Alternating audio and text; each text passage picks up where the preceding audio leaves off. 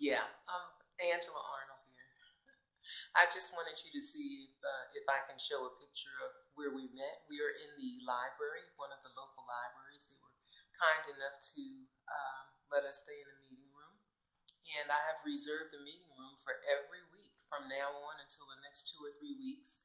We'll meet together, share our fitness goals. There's one lady who's planning a triathlon and she's doing training for that. And she's in great shape and looking to be in better shape, so that's wonderful.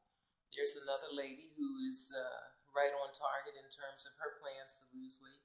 And then there's me, and I'm doing fine too. So uh, we have this room. We're going to be using it for the next couple of weeks. And then we're going to set up weekly teleconference calls so we can maintain our buddyship and our support for each other. Take care. I'll see you later.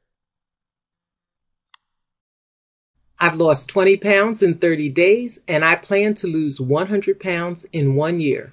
Grab your copy of my free monthly newsletter to discover exactly how I did it.